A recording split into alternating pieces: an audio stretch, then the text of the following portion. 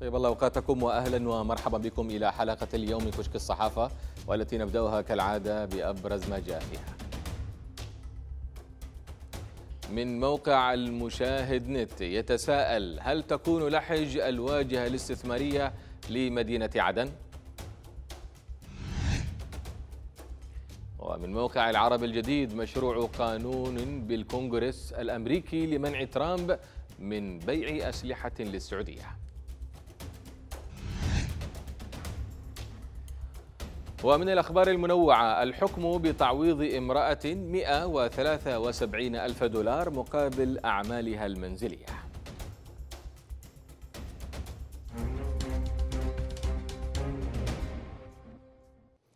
أهلا بكم.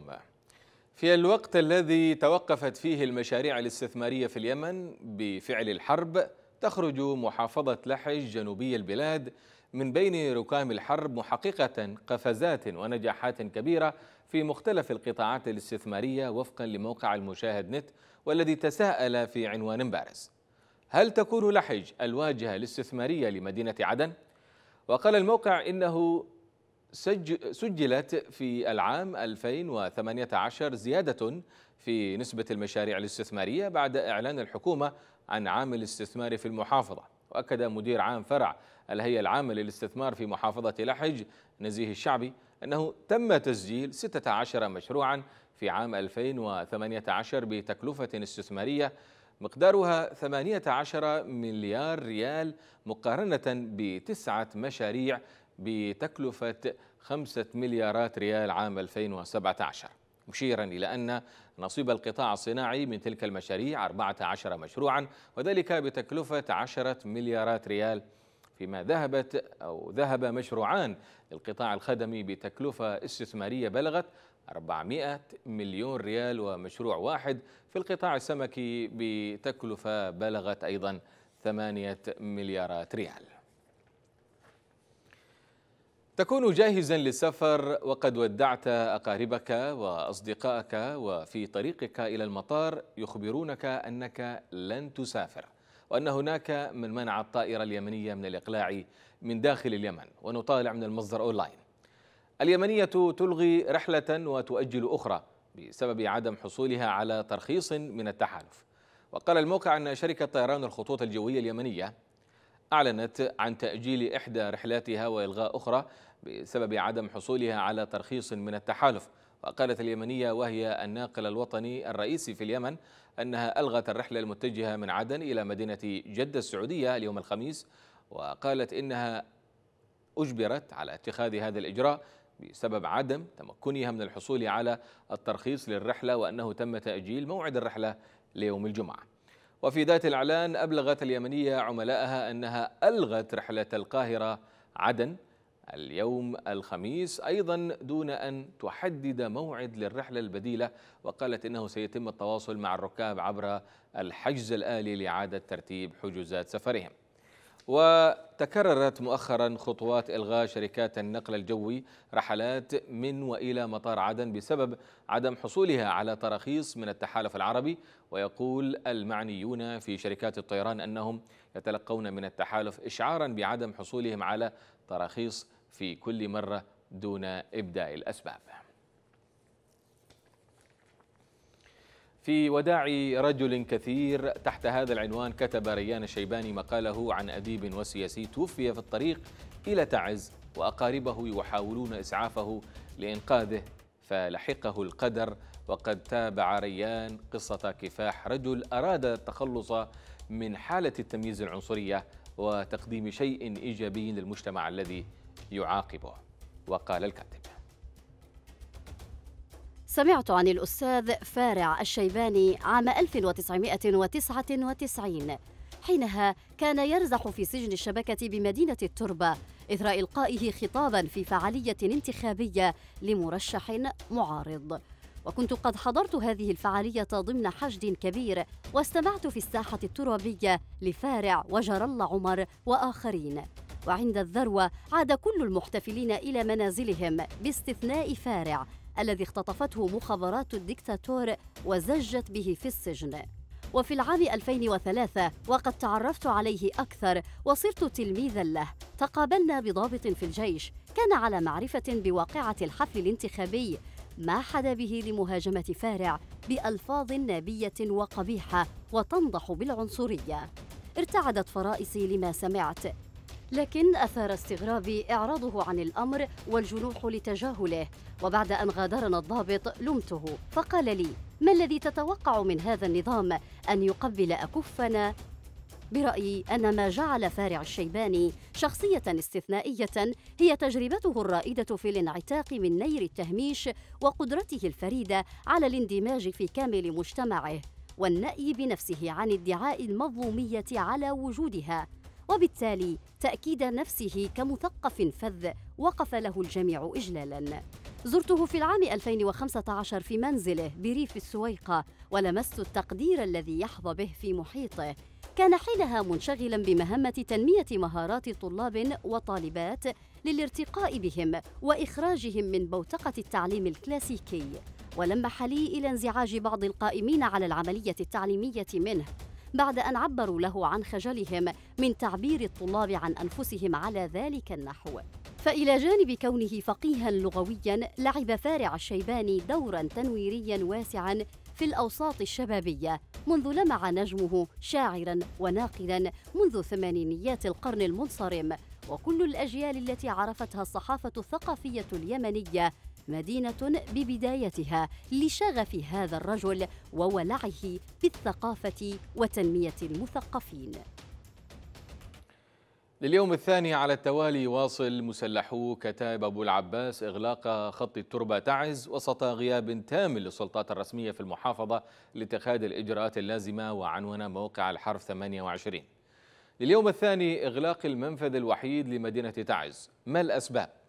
وذكرت مصادر محلية للحرف 28 أن مسلحي الكتائب لا يزالون يواصلون إغلاق الخط من نقطة تفتيش تابعة لهم في منطقة يفرس وكانت مجاميع مسلحة تابعة للقيادة السلفي عادل عبد فارع.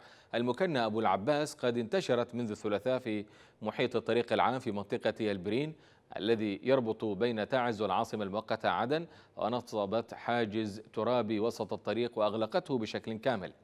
وفقا للموقع ترجع أسباب إغلاق المنفذ الوحيد لمدينة تعز إلى ربط قيادة المحور مرتبات أفراد كتاب أبو العباس أسوة ببقية ألوية الجيش.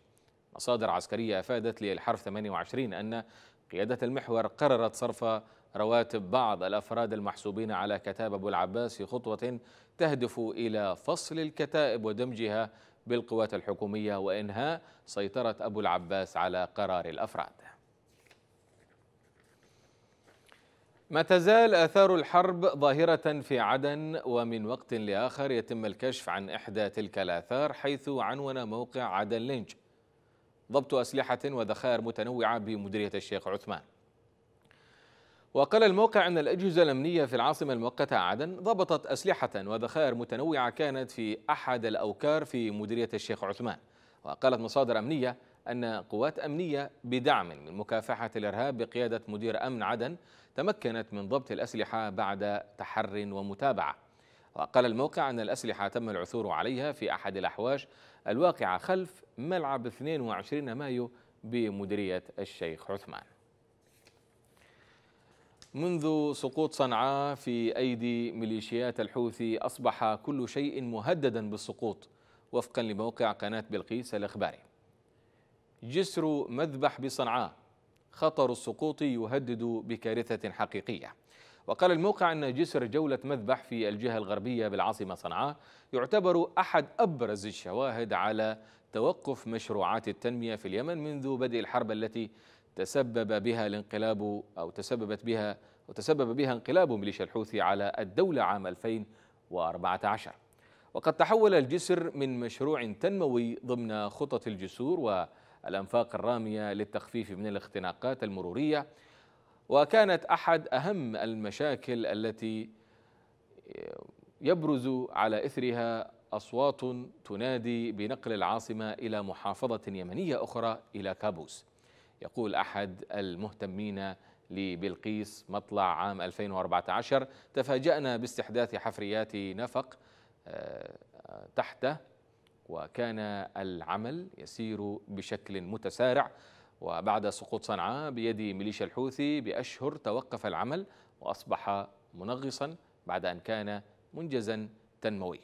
في حديث لموقع بلقيس ذكر أحد المهندسين طلب التحفظ عن اسمه بأنه بسبب حفريات النفق المستحدث تحت هذا الجسر توقف العمل لإكمال النفق منذ حوالي أربع سنوات بدأ الضرر يصيب قواعد ورافعات الجسر أكثر بفعل تدفق مياه الأمطار.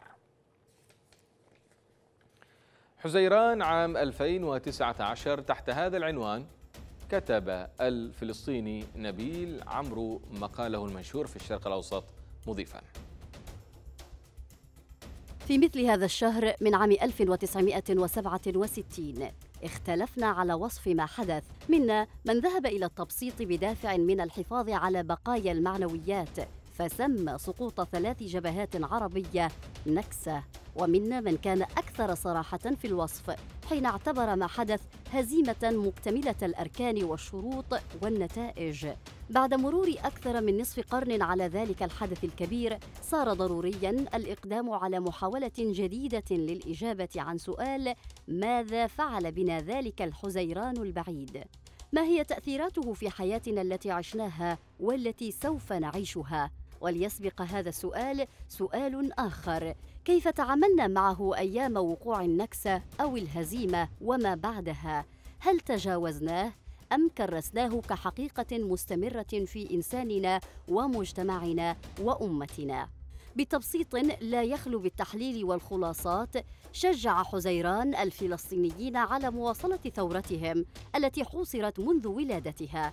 وبفعل التعويض عن الهزيمة انفتحت أمامها أبواب أغلقتها بدعم واسع فتغنى الزعماء بالظاهرة الجديدة وحتى زعيم الأمة آنذاك وصفها بأمدل ظاهرة وجدت لتبقى.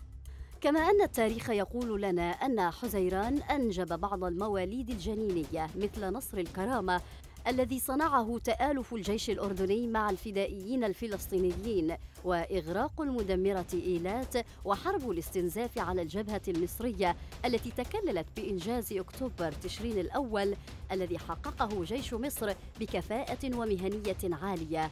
غير أن الجانب الآخر من رواية التاريخ سجل معطيات لحزيران تراكمت تحت السطح إلا أنها انفجرت أخيراً. وبوسعنا قراءة حزيران 2019 لنتعرف من جديد. لم تكن هزيمة حزيران مجرد حدث ينتسب زمنيا إلى الماضي بل إنه جذر نبتت عليه غابات من حزيرانات. إن اختلفت مسمياتها وتوقيتاتها فلم تختلف خلاصتها. هزائم في كل زمان ومكان. تحدثت صحيفة لوفيغارو الفرنسية عن هجوم الحوثيين على مطار في السعودية وقالت بأن جماعة الحوثيين المتمردة شنت هجوما جديدا ضد السعودية. التحالف قال إن 26 مدني من جنسيات مختلفة أصيبوا بجروح بقذيفة أطلقها الحوثيون على مطار أبها في جنوب غرب البلاد. وقد تم نقل ثمانية منهم إلى المستشفى وعلاج الباقين في وقته. وقد أصاب الهجوم ثلاث نساء وطفلين وفقا للمتحدث باسم التحالف التركي المالكي. المتمردون الحوثيون وعلى قناة المسيرة التلفزيونية التابعة لهم قالوا إنهم هاجموا المطار بصاروخ كروز وألحقوا أضرارا بإيقاعة الوصول بالمطار. المتحدث باسم التحالف التركي المالكي اتهم النظام الإيراني بمواصلة دعم الأعمال الإرهابية خارج حدوده ووعد برد سريع وحازم على هذه الأعمال. تقدم نواب أمريكيون من الحزبين الديمقراطي والجمهوري بمشروع قانون جديد يمنع الرئيس ترامب من بيع أسلحة إلى السعودية بعد أن أعلنت إدارته أنها تتجاوز الكونغرس لنقل أسلحة أمريكية إلى المملكة وحلفاء آخرين. تأتي ردة فعل مجلس النواب ضد البيت الأبيض بعد أسبوع من قيام أعضاء في مجلس الشيوخ من مختلف التوجهات السياسية بتحرك لمنع بيع أسلحة بقيمة 8.1 مليارات دولار إلى السعودية. إدارة ترامب أغضبت المشرعين الأمريكيين بإعلانها الشهر الماضي أنها ستستخدم آه، سلطات الطوارئ لتحدي الكونغرس و تزويد السعودية والإمارات والأردن بالذخائر والطائرات والصيانة ومكونات عسكرية أخرى. واعتبر البيت الأبيض أن تزايد التهديد الإيراني كان السبب الرئيسي لتخطي المراجعة الملزمة للكونغرس ل 22 عملية نقل الأسلحة وتجميد المبيعات من قبل الكونغرس قد يؤثر على قدرات إدارة العمليات للحلفاء العرب. لكن يبدو أن المشرعين الأمريكيين لا يزالون يكنون مشاعر الغضب تجاه المملكة بعد ثمانية أشهر من اغتيال الصحفي السعودي جمال خاشقجي. وأعرب نواب بعضهم موال لترامب عن قلقهم من أن الأسلحة الأمريكية قد تستخدم ضد المدنيين من قبل التحالف السعودي الإماراتي في اليمن. التوترات الأمريكية الإيرانية يمكن أن تقوض السلام الهش في العراق.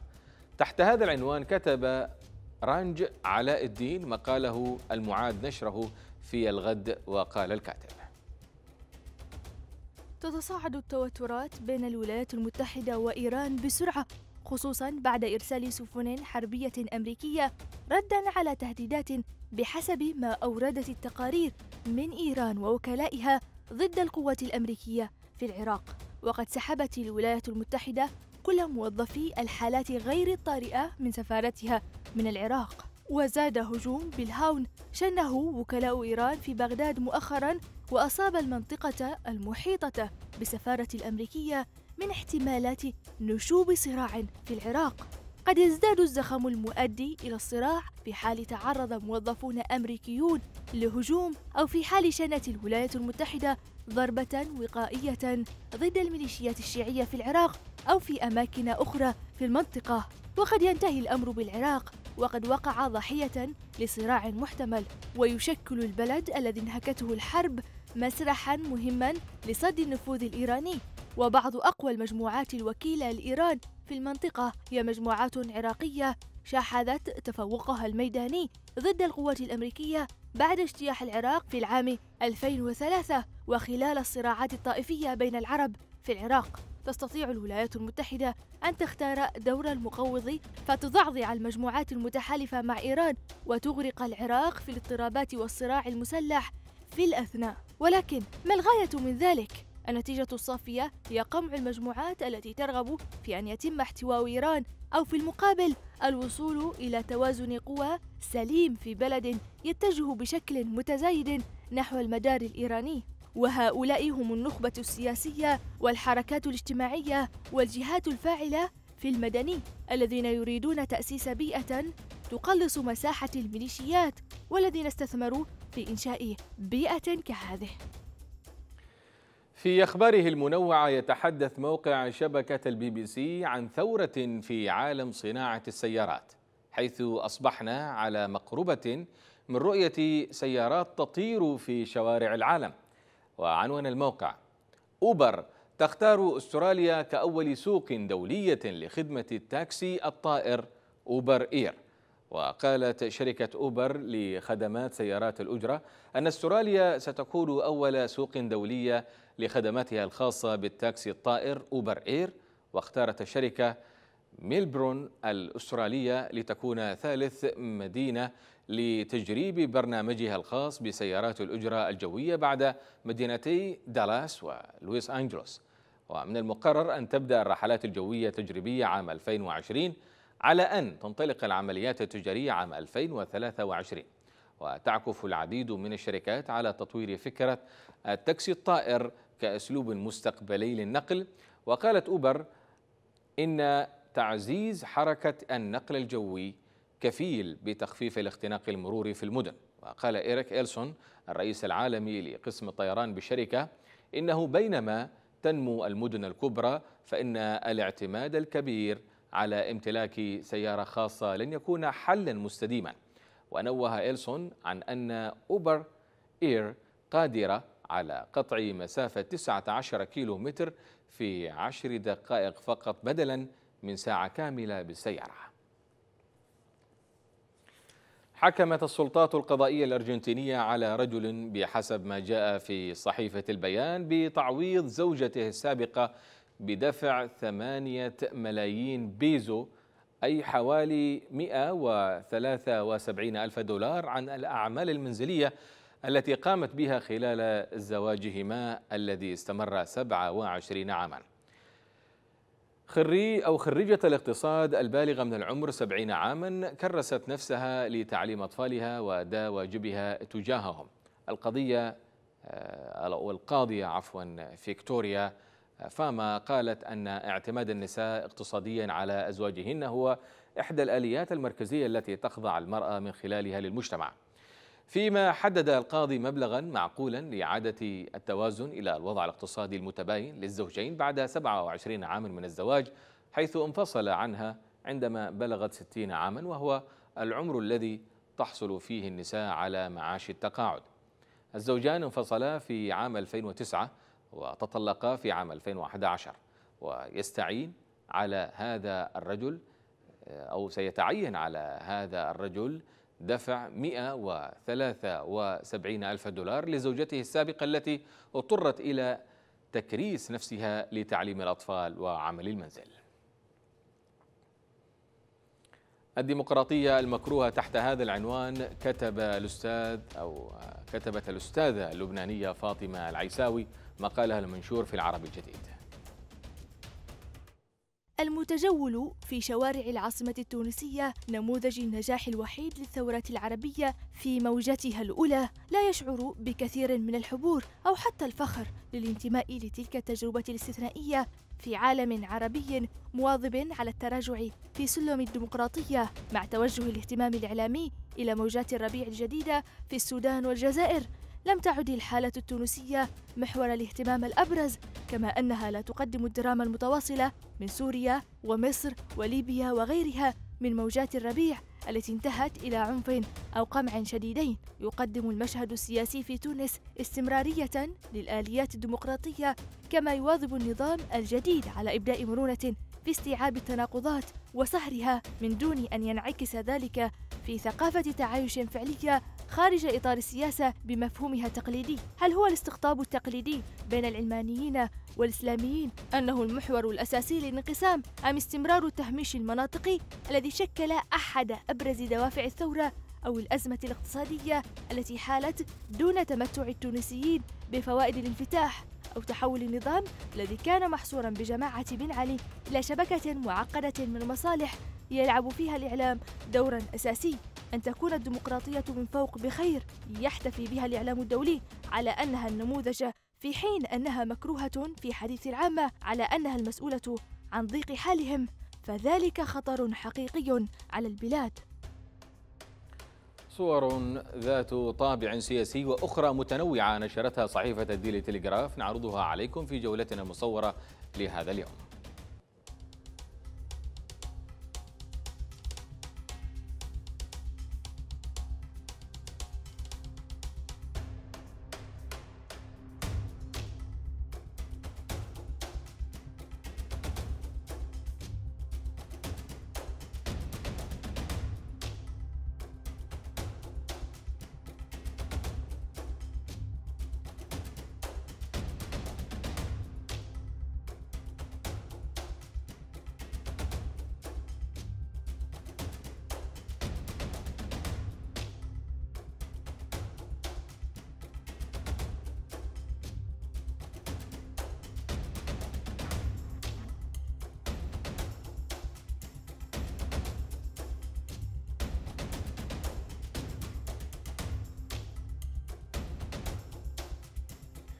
المنافسة لم تعد اليوم مقتصرة على صورة والكلمة فقط بل دخلت الريشة عبر فن الكاريكاتير. ذلك الفن الساخر الذي يختصر آلاف العبارات ومئات الصور في رسمة واحدة. نتابع.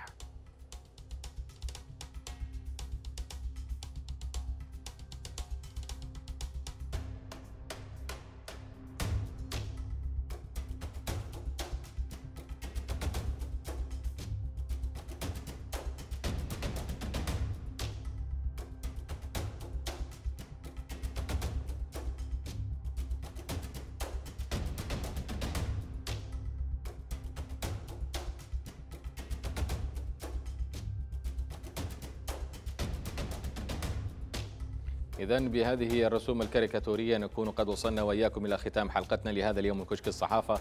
نشكركم على المتابعة وإلى اللقاء.